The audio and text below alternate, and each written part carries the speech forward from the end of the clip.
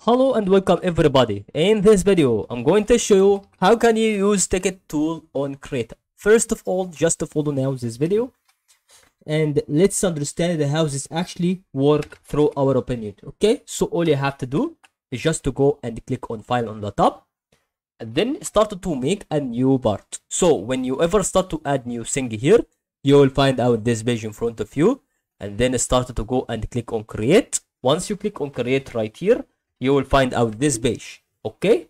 Recently start to go and click here on ticket on the left top corner. Once you click on it you will start to click uh, start to pull the ticket here pull the mouse here and they make a wave or wake an area. And then as you can see it will reveal for you something like that. You can start almost to have some many options. You can start to change the size of the font.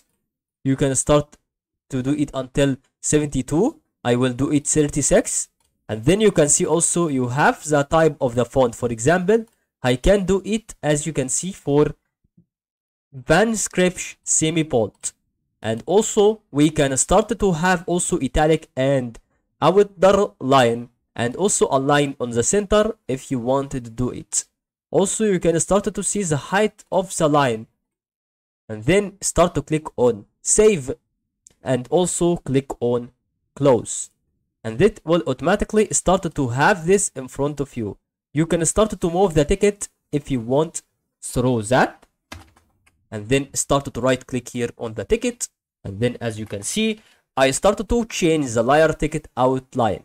You can start to do it by clicking right click on that ticket and then click here on layer style and then you can start to change anything as you wish. For example i go to color overlay and i go to change the color of the ticket into uh, uh, green. So i started to take the green part here and then i started to double click here and then as you can see i click on ok.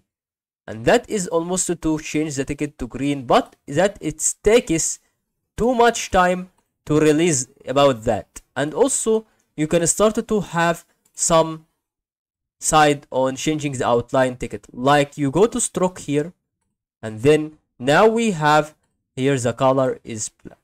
So i go to it, it is a green and then as you can see that will be almost important guys to know how can you start to use text tool on your Krita app or Krita application.